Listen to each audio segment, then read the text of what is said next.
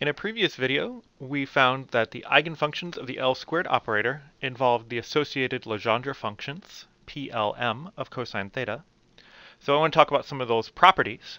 Uh, in particular, they're defined in terms of the Legendre polynomials. And remember, the Legendre polynomials are, say, P0 is 1, P1 is x, uh, and so on and so forth.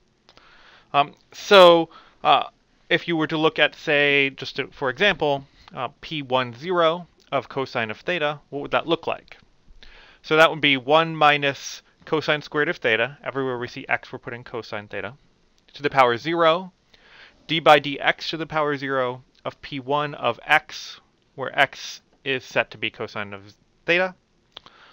And then, well, that's just p1 of x at x equal to cosine of theta because there's no derivative, there's no first term, so it's just cosine theta. By a similar story, p1 negative 1 would give us 1 minus cosine squared theta to the minus 1 half absolute value, d by dx to the absolute value of minus 1, p1 of x, again evaluated at x equal to cosine of theta at the end of the day here. Uh, and so we have to be a little bit careful about absolute values here but we end up with just sine theta in this case, and so on and so forth. Um, so you can imagine plugging cosine theta in uh, for any set of m and n value to generate these. Let's talk about some of the properties of the PLM of cosine theta, because it turns out some of the properties mirror the properties of angular momentum. Uh, so let's just rewrite PLM of x, the definition that we had from above, again down here where we can see it. Okay, so first off, let's imagine we take m, or the absolute value of m, greater than L. Remember that the Legendre polynomials are Lth order polynomials. Uh, so what that means is p sub L of x goes something like x to the L plus uh, some coefficient times x to the L minus 2 plus etc. etc. going down by power or uh, numerical values of 2 each time. So that means if you take d by dx of the lth order polynomial when m is greater than L, then the derivative will kill all of the terms in the Legendre polynomial, the lth order polynomial. Uh, which means that um, if absolute value of m is greater than L, then the Legendre special or associated Legendre functions are zero. So that's kind of interesting. Uh, what that tells us then is we must have absolute value of m less than or equal to L, or rather than that uh, m is between minus L and L. And that was a property we already saw of angular momentum. So it's pretty cool that we see it coming out of the associated Legendre functions as well. In addition, we see that L must be an integer uh, and that's uh, more just because that this, our uh, associated Legendre functions are defined in terms of Legendre polynomials, and the p sub L only makes sense when L is an integer. Um, you can define Legendre functions, um, but they don't really uh, make sense in the same way for our types of boundary conditions.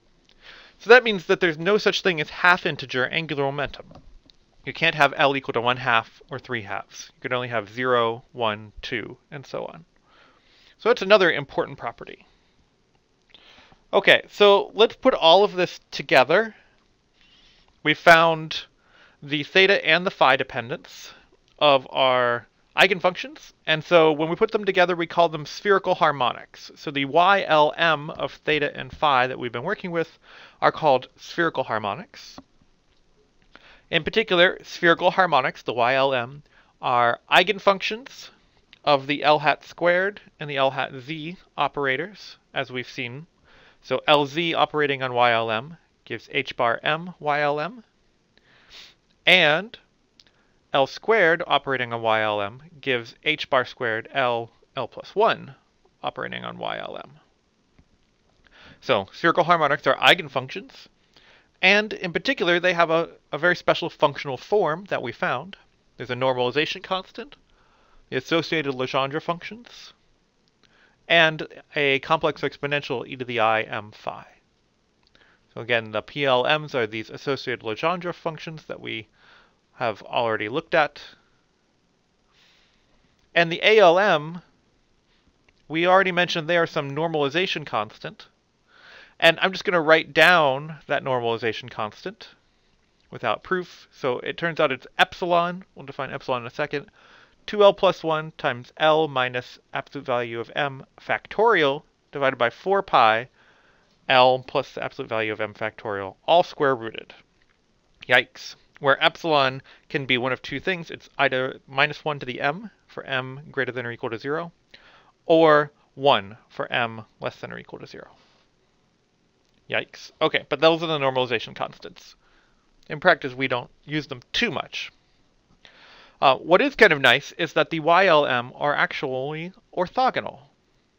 Uh, of course, what do we mean by orthogonal? Well, we mean uh, when you do a particular integral, and what we mean is if you integrate from 0 to 2 pi, 0 to pi, of the complex conjugate of YLM times YL prime M prime times sine theta d theta d phi. So that should give you 1 or 0 uh, it'll give you 1 if both the L and L prime and M and M prime are equal, or 0 if any of them are not the same, which is our usual definition of orthogonal. To get a feel for the spherical harmonics, let's just look at some visualization. So here I'm plotting the y uh, 2, 0, so L is equal to 2, M is equal to 0 in Mathematica. Um, and so what we're seeing here, we're seeing the theta dependence. Uh, so imagine the z-axis going through here. Um, and then rotated around that is the phi dependence. Um, and so we can see how the theta and phi dependence um, uh, are important in the spherical harmonics. Uh, and the distance from the origin represents essentially how big the function is. Um, so L equals 2 looks kind of funky like this. Let's go to say L equal to 1. So L equal to 1 kind of looks like 2 uh, two dumbbells or two um, uh, balls uh, centered from the origin. And so this, so here we see that at theta equal to zero, our function actually goes to zero. That's what that little dot is there. Um, this is for L equal to one, M equal to one. And certainly the M equal to negative one should be the same, and it looks exactly the same. Um, L equal to zero um, just gives us, we are only allowed to have M equal to zero, and so we just have a sphere for that nothing else. Uh, our, our spherical harmonic is just constant. Um, as you go up to higher and higher L, of course, you could have more complicated looking uh, theta dependence um, of your function, but uh, and we're not going to go into too much detail of this, just the idea that um, this interesting behavior of the theta dependence in the spherical harmonics is there and can be visualized.